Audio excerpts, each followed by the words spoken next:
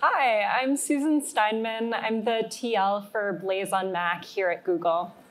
Uh, I'm John Cater. I'm the TL for the Platforms project at Google.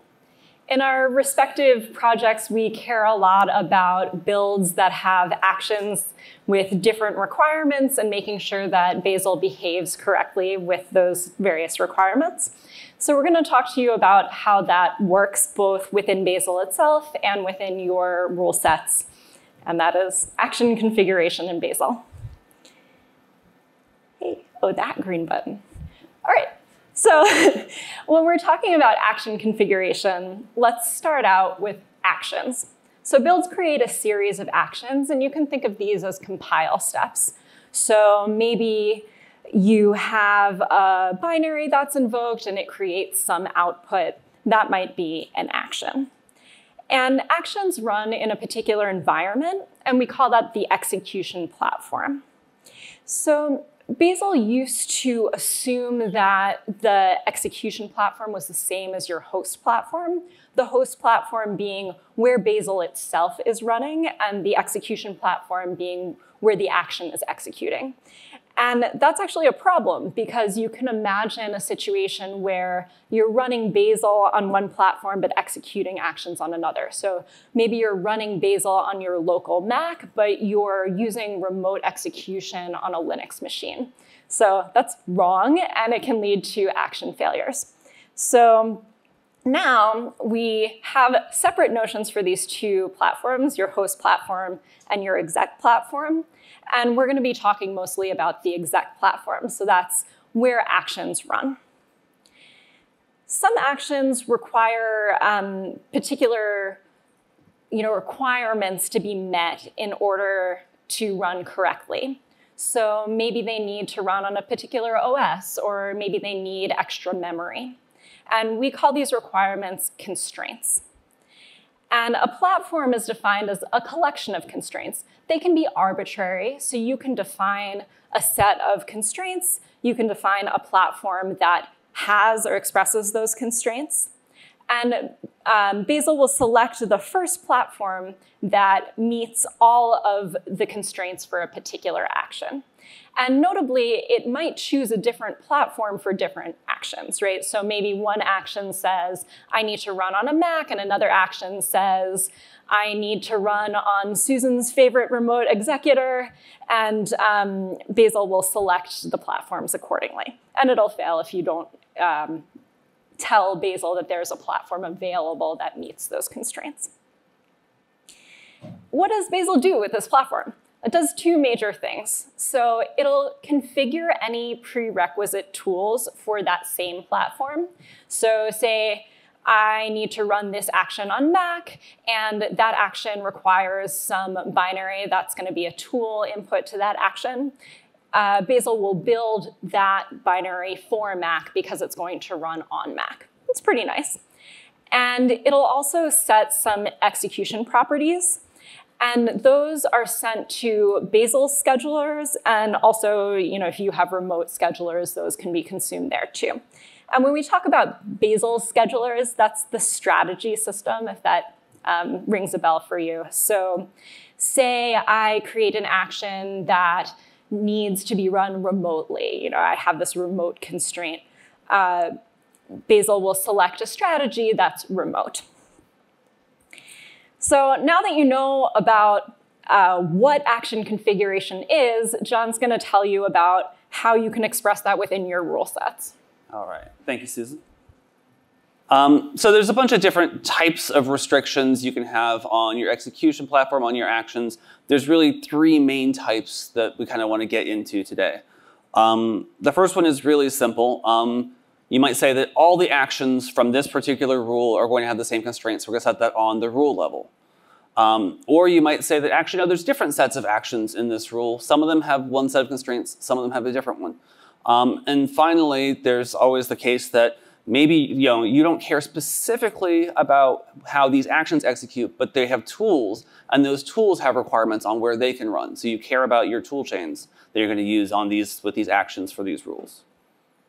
Uh, push the button. There you go. Um, so first, the really simple case.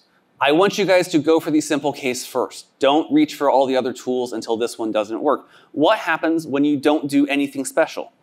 Um, you have a rule, you have a tool attribute on it, and you say CFG equals exec because that means configure this for the execution platform. In your implementation, you get that out, actions run tool. This picks the one execution platform for that action. It runs it there. It builds the tool for that platform. Things should just work. Um, it's the simplest possible case. Please consider this one first. But sometimes you know a little bit more that you need to encode into these rules. So you want to say, actually, I know for whatever reasons, um, because of licensing issues, because of I only have this kind of thing in my environment, and so it has to be there. I know that I actually want these actions to run on one thing.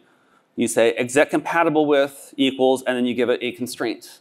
Not a platform, but a constraint. The platform is the collection of constraints. Constraints are what goes here.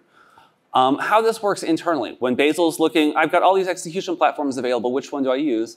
Bazel says, oh, wait, this has to be compatible with Mac OS. Get rid of everything that's not Mac OS. We're going to ignore those and pretend they don't exist and then we're going to pick the best one that's left. Um, and in this case, again, because you have CFG equals exec, the tool gets built for the execution platform. When you run the action with that tool, it will get sent to there. It's using the default execution, execution group, if you're familiar with that. Um, the other big caveat is that some people will look at this and be like, oh, exec compatible with and target compatible with, those look really similar. I use those the same, right? You're wrong. Target compatible with checks the target platform when the rule gets configured and says, well, we already know what the target platform is. We, this rule has a target compatible with. Do they match? Yes, things are fine. No, oh, that's an error. Let's tell the user about it and stop things right now. Exec compatible with is a filter. It says, ignore any execution platform that doesn't match this constraint. Let's use one that's left. If there's nothing left, that's a different error, but it still functions internally very differently. Um, I'm actually going to skip from the order I mentioned earlier and talk about tools because tool chains are near and dear my heart and they're also complicated. Um, so sometimes you have a set of tools that you want to run that you need to, in order to execute your actions. Um, tool chains lets you decouple your rules from different sets of tools. The classic example of this is the CC toolchain. Um, I know some of you here are using Clang. Probably some of you here are still using GCC. I bet you there are people using Xcode or MSVC or any of a dozen different CC toolchains that are out there to build your C++ and your C code. Um, but we're sitting here on the Bazel team. I see the guys working on C++ rules over here. They don't want to care if you're using Clang or GCC. So we have the CC toolchain, which acts to separate those out and decouples them. Um, you can add your own toolchains. You can auto-discover if you're using the auto-discovery rules. You can get the CC toolchains that come with your own execution environment if they've set that up for you. And then that lets Bazel go through and see, oh, well, we've got these different toolchains that are available. We know that we need a CC toolchain. Um, this target is using a CC toolchain. Let's figure out what's going to happen and that, stitch that together. Um, in the rule, it's fairly simple. You have this toolchains equals rule parameter that says, hey, I want a specific toolchain type. Uh, maybe that's at Bazel colon slash slash CP, what tool CPP toolchain type. The names are labels so that they can be fully analyzed, but that means they're long. I'm sorry about that. Um, in your implementation, you do ctx.toolchains, same toolchain type. You get out your toolchain provider, and then you start pulling compilers, flags, libraries, whatever you happen to need out of that. Um, as a, a Bazel person working on the core, I don't actually know what's in that provider because the rule author is the one who defines it and they define it in the next slide. Um, so you have your specific toolchain provider you create. You create a rule that takes in a bunch of different attributes, processes them, puts them into that provider, makes them available. There's really two special things here for a rule that creates a toolchain. Um, the first one, oh, I'm going to figure out, does the laser pointer work? Not in, not in yes, a useful way, it no. is.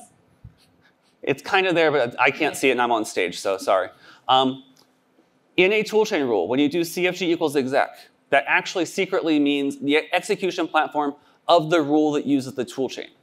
Toolchain rules should not ever create their own actions. Like this actually like this, okay, secret here. If your toolchain creates an action that's going to cause a huge internal crash and you're probably going to get some kind of a Java stack trace and you're not going to enjoy it. So don't do it, rule authors, just, just don't. Um, CFG equals exec means the execution platform on the rule that uses the toolchain. Um, the other interesting trick here is that this has to return a toolchain provider, a toolchain info provider. Um, that's what Bazel is looking for to figure out what am I going to actually provide to the rule in ctx.toolchains. Um, inside that, like so you'll see here, we're putting my toolchain equals info. If I go back a slide, you'll see here that it goes ctx toolchains, whatever, dot my toolchain. That's where that hooks up. That's how you get your specific provider out of that toolchain info provider. Um, and then the last part is just wiring everything up. How do you tell, tell Bazel, hey, I've got these tool chains, let's use them. Um, the first thing you do is you need a toolchain type target. Like I said, toolchain type is a label. That means that you have to have an actual target there. Um, this gives us a lot of benefits. The most important one being that if you typo the name, you'll get a, a nice, easy to comprehend, well, Bazel easy to comprehend error message, but one that you're used to. You know what happens when you see a message that says, I can't find this target, go look at this build file. Um, I'm pretty sure visibility checking works with that. I've never tested that. Um, that would be like a weird hack. I didn't do anything special for it. It probably works just like normal. Um, the other thing that you do is you define like instances of your toolchain. In this case, the my toolchain Linux impl, my toolchain Mac OS. And then you use the special toolchain rule to say, when you want to, when you're looking for a toolchain, um, you, and you're looking for something with a specific toolchain type, and these are the execution constraints, and these are the target constraints, and you can use this toolchain. Um, and that's how it will know, Bazel will know about all the different ones available and kind of filter through and figure out. Um, you have to register toolchains. We don't normally just load up random build files into memory and analyze them. Everyone hates that because it slows things down. So you have to actually register them so Bazel knows where to look. This is the register toolchains that you probably heard about. Um, there's a command line flag, extra toolchains that you can also use. Um, and that tells it which ones to use here.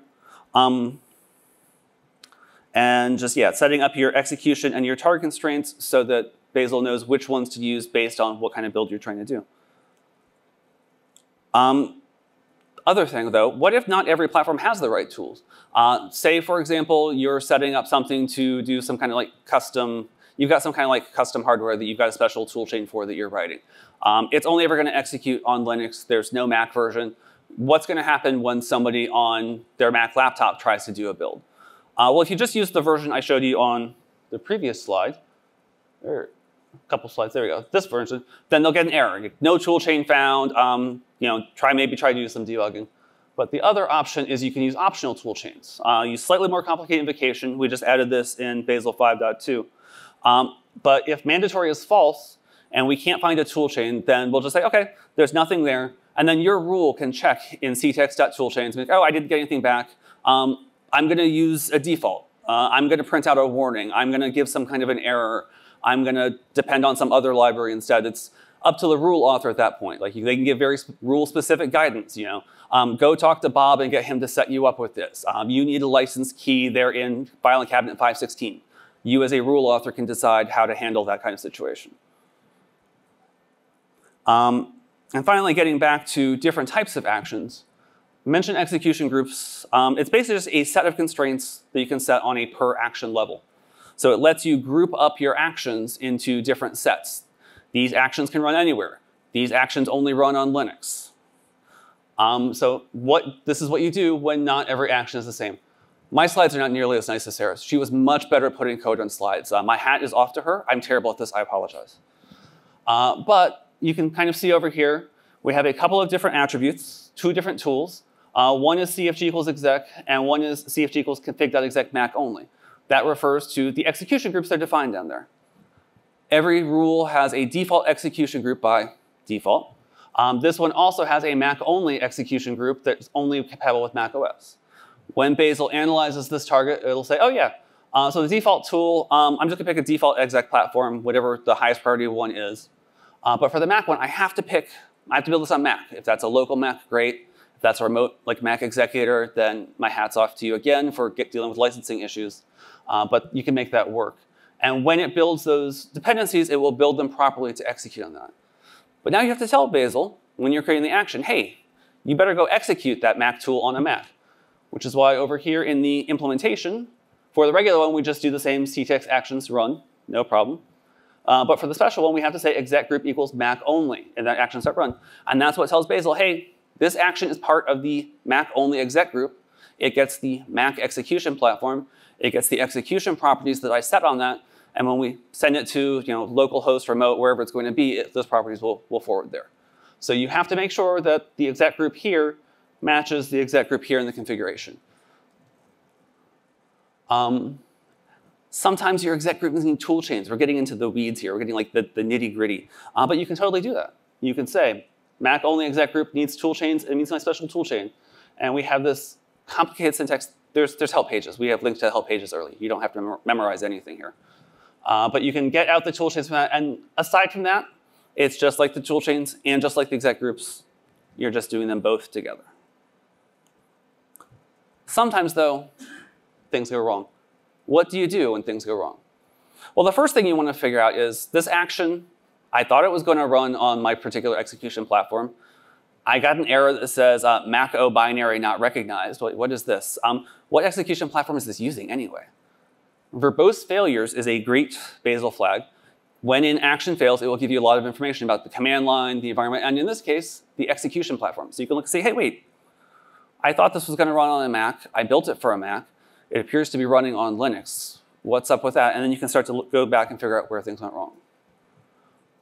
Um, the other, more slightly more complicated way is you can use aQuery. Uh, if you're not familiar with aQuery, Bazel, aQuery, all the same flags for your build, and then a particular target will show you the actions for that target. Um, it works like query and cquery. You can use deps. You can. Um, I wouldn't use somepath. That sounds terrible. But you can use like the standard, you know, inclusion, exclusion operators, and really kind of narrow down like what are all of the actions this build is generating. What are the command lines? What are the inputs? What are the outputs? What's the execution platform? Where does Bazel think it's going to be running this? Because it's clearly not doing the thing you want it to do. That's why you're debugging. Um, and finally, when you are just like, I, I, I could see that it's running on the wrong execution platform. The action is doing the wrong thing. Why is that? Toolchain resolution debug equals a particular target. We'll show you some debugging output from the toolchain resolution process for that target. Toolchain resolution is where Bazel goes through and says, I want to build this target. I need these tool chains. I have these exec groups. What tool chain and what execution platforms am I going to use? The debugging output is not great. It's incredibly verbose and kind of hard to get through, but it is there and it'll help you narrow down this is what's going wrong with, with my build. This is why this action isn't configured the way I thought that it should be. And now I'll hand it back over to Susan. Thank you. Um, yeah, so I'm really pleased with the improvements that have been made in this space in the past couple of years, but there are still areas for improvement.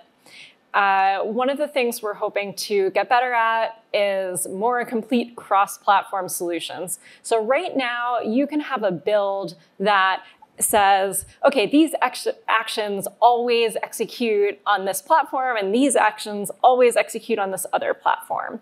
And you can also have actions that you know don't care, and Bazel will select the first platform, and it'll execute them there. But what you can't do is say, um, I would like to take advantage of dynamic execution. So try to run this action on this platform, and if it's too slow, fall through to local execution on a different platform. That's not possible. And there's a, a, big use case for that because often you have a remote build system that maybe is Linux and it, it's fast if you have cache hits, but your local machine is something different and it's fast if you have to actually execute something so you don't need to do all the file transfers. So right now, dynamic execution only works if those two platforms are the same, but we'd like to make it possible for actions that really don't care what platform they run on and where the outputs are gonna be comparable to take advantage of dynamic execution. And relatedly, it would be really great if, if you know that the outputs are going to be the same on two different platforms, if you could take advantage of shared caching across those platforms. So things we're thinking about. Um, we'd also like to make Bazel's scheduler platform aware. So what does that mean? Uh, I mentioned that Bazel's scheduler is the strategy situation, and platform aware is all this stuff that we've been talking about. So right now it's possible to configure an action for a particular platform and then to have its strategy route it somewhere else. So I say, oh, this action is a Linux action, it's configured, all the tools are for Linux, its exec properties are for Linux, and then I can mess everything up by setting a strategy for that action that says, oh, I'm a Mac action. So it'd be great if these two systems could talk to each other and you could kind of have one source of truth, and hopefully that'll be the, the platform's way of expressing things. And uh, John mentioned many ways that you can debug your toolchain and action configuration, but it would be great if we had even more there. Um, so that's also in progress. Hey. Oh, if you have questions, you can't ask them here. Uh, you should find us at the uh, office hours room. John has a table. That side in the back near the entrance. And we'll go there right now. And I'll leave the slide up while I talk. You can find a lot of documentation about all of this stuff. The APIs are confusing at first glance, so there's a lot of um, examples out there and a lot of uh, information about how this all works. Thank you so much. Thank you.